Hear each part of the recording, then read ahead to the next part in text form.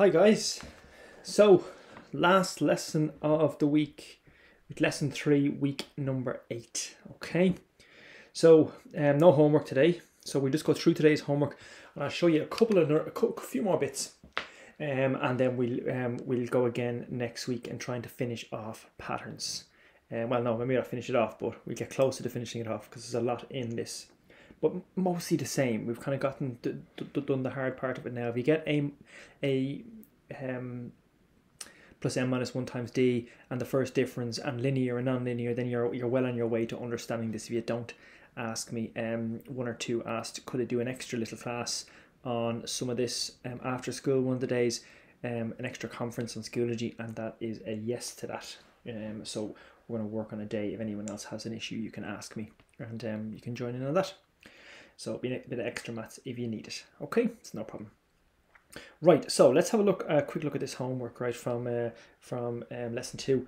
So um, the first question there, question two, is a pattern is graphed in a diagram, right? So it looks like an L curve. Um, and what they want us to do, copy and complete the following table. Okay, so if we go and we look at this then, so here's term one. So term one is here, and the point is down here at minus one. So our ter first term value is going to be minus 1. Our second term is up here. So here, here's term 2, and it's up at 3. So our second term is going to be 3. Our third term is going to be up here at 6. Let's go in a bit so you can see a bit better. Our fourth term is going to be there at, um, so our fourth term is going to be up here at 8. And our fifth term, no sixth term, so our fifth term is going to be here at 9. So we look at the, the first, the difference between minus 1 and 3. So how do we get from minus 1 to 3? I have to add 4. To get from 3 to 6, I have to add 3. To get from 6 to 8, I have to add 2. To get from 8 to 9, I have to add 1. So you know that the first difference there is not the same. 4 is not the same as 3 is not the same as 2 is not the same as 1. So this is going to be non linear. It's going to be non-linear because the first difference is is not the same. Okay, get rid of that, that there. Nope. Get rid of a lot of stuff now. Okay, first difference is not the same. Okay, let's move on then and take a look at the next one I gave you to do, which was question number four. Here it is here. Is there some more of it up here? No, just all down here in the bottom. Okay, question number four. Pattern is graphed. The curve has been included for clarity. Okay, so they've put the curve in for us. That's very nice. Does it represent linear or non-linear? Well, I can tell you straight away, it's not. That's not straight because it says first off, they're telling us about a curve, so it's definitely not straight. But if I um, if I want to work that out using maths, well, I think okay, well, I have um, term one, term two, and term three. Here's term one, here's term two, and here's term three. So term one is at point three. Term two is at point six, and term three is at point twelve. So if I look at the difference between them, then three, three to get to six, you add three. 6 to get to 12 though, you have to add 6. So there's my first differences circle there for you. So um, does it represent a linear or non-linear? Well, it's going to be non-linear. Because the first difference is not the same. Okay, a bit of a lag there coming in. But I wrote there the first difference is not the same. So it should be coming through for you now in a second. Go on, just do it. Okay, it's slowly coming in, it's just loading there, not the same. All right, question six then. So six has A, B, C, D, and E, fair enough. Question six a linear pattern is graphed, right? They're telling us straight away it's going to be linear. A line is being included. Let's put the terms in. So term 1, same again. Term 1 is here, and it has no value, 0. It's right on the line. Term 2 is here, and its value is going to be 1. term term 3 is here, and its value is going to be 2. So it's going to be 2. Term 4, the value is going to be 3. Term 5, the value across is going to be 4. And term 6, the value is up here. It's going straight across from 5. Okay, so we've done part A. I'll try and keep the whole thing in the picture if I can. Part B, find the first difference. So I'll do that on the I'll do that on the table. The difference between here and here, here and here, here and here, here and here, and here and here. Difference is always one, isn't it? It's always plus one. I'm going up in ones the whole time. So the first difference is going to be one or plus one if you want. The seventh difference, right? So if I was to add in, if I was to add in, so I have term one, two, three, four, five, six. Term seven, I'm going up in ones the whole time. So it's obviously going to be six. Describe the pattern in your own words. Okay, so the pattern in your own words, always say, where does it start? Starts at, starts at zero, adds one every time. Okay, and find the general term for this pattern. So I'm going to do that up beside the question here. So remember, we want to find the general term, or the nth term is a plus n minus 1 times d. Our first term, so a is going to be 0, and d is the difference, is going to be 1. So it's going to be 0 plus n minus 1 times 1. Multiply the 1 by the n and the 1 by the minus 1. So it's going to be 0 plus 1n, or just n, and minus 1 by plus 1 is minus 1. So our answer is going to be n minus 1. I'll put that down at the answer as well. So that the general term is going to be n minus 1.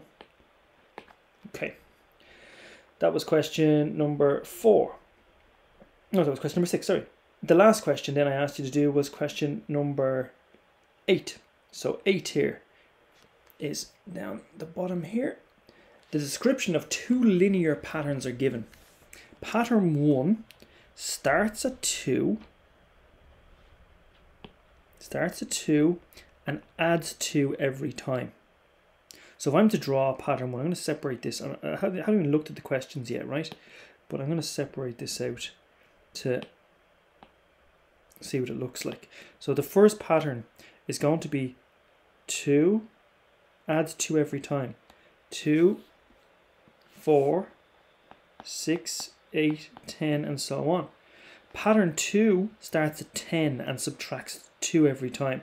So pattern 2 is going to be 10, 8, 6, 4, 2, and so on. Now, I still haven't looked at the question, but I've drawn my two patterns out.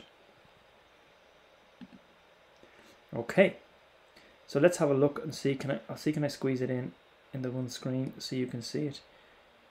No, I'm not going to be able to, am I? So copy the diagram shown. So copy the diagram shown. We did that. Plot the first five terms of pattern one on the diagram. Okay, right. So the first five terms of, I'm just going to have to make this quite small so I can squeeze it into the page. First five terms of pattern one. So you see I've drawn the two patterns first there. So blue is going to be, blue is your our first pattern and green is going to be our second pattern. Okay, so let's stick with pattern number one then. Pattern number one, our first term in pattern number one is going to be two. So I'm going to draw my line and I'm going to start with pattern one in black. Okay, so our, our first term is going to be two. So there's our first. Oh, why is it doing that? Pattern number one is going to be two. There's our first point drawn in. Going back to the blue highlighted down the bottom left, our second term is going to be 4. Our second term is going to be 4. Our third term is going to be 6. Looking nice and straight, isn't it? Nice straight line. Our fourth term is going to be 8. To, across as far as 4, up as far as 8. There it is there. And our last term, that's the plus 5, didn't it? Yep, 5 is going to be 10. So our fifth term is going to be 10. So there we go. There's our first um, pattern drawn. I'm going to go a different colour pen for the second pattern. Same again. This is part C. Plot the first five terms of pattern 2. 10, 8, 6, 4, 2. So our first term is 10. Our second term is 8. Our third term is 6, same spot as the black dot. Our fourth term is going to be 4. And our fifth term is going to be 2. So they're kind of like an X shape, isn't it? Okay, so there's our two patterns done. Identify the term number and term value of any point which is shared by the patterns. Well, there's only one, isn't there? Here it is here. Let's go a different color pen again. There is that spot there in the middle, isn't it? So we're looking for the term, they're looking for the term number and the term value. Okay, well, our term number is going to be 3. That's where that that's where, meet, meets up with the box there. So it's going to be term 3 and value of that term is going to be 6 because that's what joins up. So term 3 and the value of that term is going to be 6. Okay, and that's the homework correct. There's a couple more examples you can have a go at there. We have a go at question 9. Why not if you have a bit of time? So I said some people are flying and looking for extra stuff. Well, there's nine full questions there. You've only done four of them. So if you're finding that the homework is getting done very, very quick, well then, you know, practice, practice, practice. It won't do any harm. Okay, on to have a look at a couple of bits. So using graphs to solve different problems. So where you see this in real life. So if you have a table like this on the right hand side there, that um, and this is basically this is the kind of thing you might do in science for your CBA next year. Um, you're looking at plant growth over 10 days. So I'm looking at a plant growing over 10 days. Uh, at, at, at no days, the height of the plant is 8 centimeters. At 4 days, it's going to be 10 centimeters. At 10 days, it's going to be 13 centimeters. The plant is growing all the time. The height is getting bigger as the days go by. Using this value in the tables, draw a graph to show the height of the plant for the 10 days. So you're going to, um, this here is going to be your x-axis and this here is going to be your y-axis and you're going to graph that. So let's have a look what that looks like. There's our graph there. So they've put that table into a graph. So they've used those they've used those results to make um, so at zero days you had eight centimeters, at two days you had nine centimeters, at four days you had ten, and so on, and it gave you this nice straight line at the end. What was the height of the plant after three days? Okay, so that we only have three days because we have zero days and two days and four days. When we have our graph drawn, we can go to three days, draw a line up to where it touches the graph, and go into the height on the y-axis, and it's somewhere there. So at nine and a half days in between, that's when it was. So uh, it would be nine and a half centimeters after three days. So somewhere between nine and ten. After that, find the slope of the line. So you're looking for the slope of that line. Over here, a slope, like the slope of a hill. Um, so the slope of the line. Now, in this, when we're calculating slope, we're going to use this one here. We call it the rise over the run. So we're going to use this formula here every time. The right, oops, sorry, I'll jump back to the start for some reason. Go back down here. So we are going to use this one here, the rise over the run. So the slope of the graph. So if we have a look at this one here, the rise, how far is it going up by every time? So it's going 8, 9, 10, 11, 12. So the rise is always 1. So it's going to be 1 over how how far does it go up every time it goes up every every time we increase by 1 it goes up by two. So it goes over, so the rise over the run, it's rising one, and the run, as in the run going from left to right, is going to be two. So one over two. There is another way of doing it. You have a read through this. If you, I know some people have said they don't like using a plus n minus one times d. They prefer just adding the difference on. That's the way you do that, but it still works out as rise over run, which is one. So every time you go, you go up by one, you go across by two. Okay, so you can see there every so you have to go across by two and up by one. If you're going from this point here to this point here, you go across by 2 and up by 1. If you want to go from this point to this point, you go across by 2 and up by 1. So it is the rise over the run. So 1 over 2. So if I was to draw that as a triangle, there's my distance between those two points. There's my distance between those two points. So this is going to be 1 over 2. This is going to be 1 over 2. It's always 1 over 2 every time. Okay, we'll be doing more of um, those. What does the y-intercept represent in this pattern? So what does the y represent in this pattern? So if the line starts at a value of y is equal to 8, so that's our, our, our plant starts growing at, we're at 8 centimeters. So the y represents the start value of the pattern. So y represents the start value of the pattern. This is the y here. So this is the y-intercept. So you see where the line hits the y-axis? That's your y-intercept there. And that represents where the plant, where we start measuring the height of the plant. Okay. Um, describe the pattern. Starts at 8, always. Starts at 8 centimeters and it increases by 1 every term. That's the way how we always describe the pattern. What would the height of the plant be after 25 days? So we're going at 2 days, 4 days, 6 days, 8 days and 10 days. So we're looking at part F. Uh, so if the plant grows half a centimeter every day, in 25 days, well, here's half a centimeter there.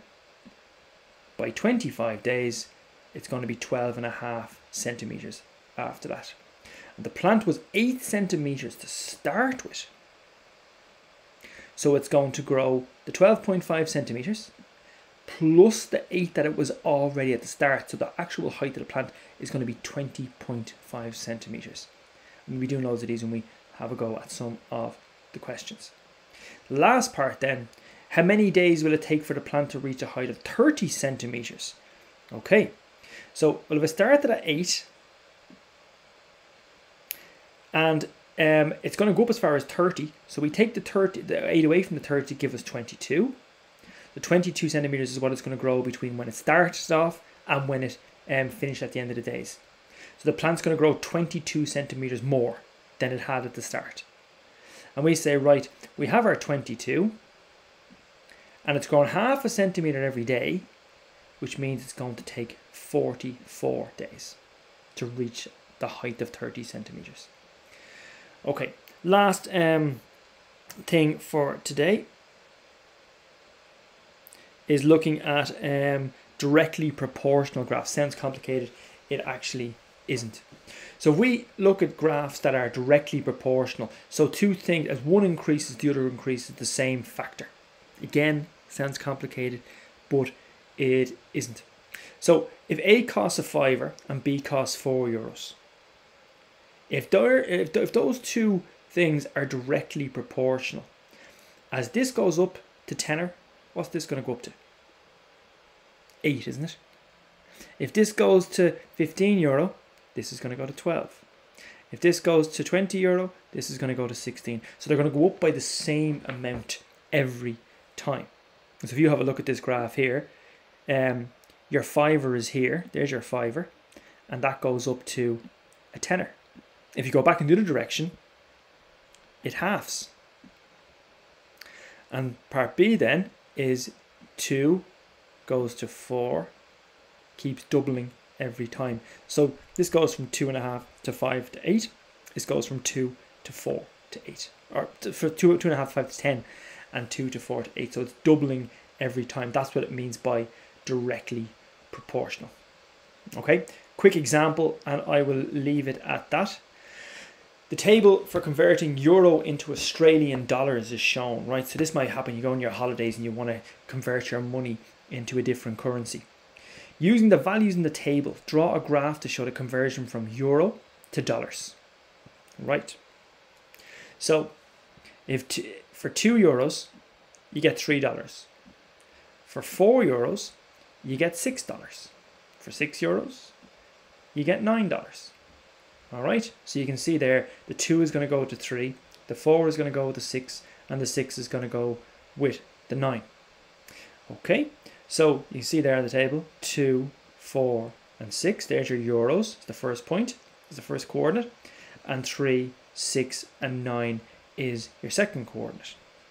So you can draw a graph um, to um, work that out. And it's the same as the last example. How much would 3 euro be worth in dollars? So we say, oh, we haven't got 3 euros here. But from our graph, we can go to 3 euros, go up to the line and across, and it will show us that 3 euros gives you about 450. About 4 euro 50, somewhere between 4 and 5. Are the two currencies directly proportional? And why? So are they two um, are, are, are directly proportional? Well, let's have a look. 2 doubles to 4. So 2 goes 2, 4, 6. And this goes 3, 6, 9. Are they directly proportional? They are, aren't they? Okay. So we're doubling all the time. Okay.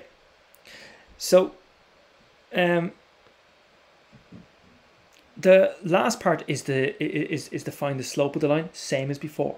Rise over run. So to find the slope of the of the of the part um, rise over run. So if I look at that one in the question, I'm just going to draw a little triangle in it for you. So if I go from this point to this point, and this point to this point, this is going to be my rise, and this is going to be my run. So I say, right, well, the rise is going to be, I'm going from 9 to 6. So the rise is going to be 3. And the run, I'm going from 6 to 4 is going to be 2. So my, uh, my slope is 3 over 2. Okay. Okay, I'm going to stop there for now because I'm after throwing an awful lot of information, the correct of the homework, and then introducing graphs. So there's an awful lot um, for you to be taken into um, into account there. So we leave the second um, example of that type until next week, and we're going to have to do a bit of live stuff next week, probably two, maybe even three lessons to go through this, and we'll start from there um, in the next class. So what I want you to do guys for the rest of this lesson, I just want you to get used to doing slopes and um, I'm, I'm working with graphs. So I just want you to do exercise 32.3 and I want you to do questions 1 and questions 2. Now it's not homework, so just question 1 and question 2. There's no graphs drawing here, um, you just have to fill in the table and um, work out a couple of things using your graph, one linear one and one um, curve, one curve. So that's your homework, that's your classwork. So I'll just put it up the top here. Lesson three classwork, because you'll still have half an hour. And it's going to be exercise 32.3, questions one and two. Now you should upload that there so you have your example there, so because you will go through it the next day but it should be well doable within the times of the class. And we'll look at some more examples and a bit more of the theory um, behind graphs and graphing um, patterns next week. Okay, right, I'll talk to you later on. Bye bye.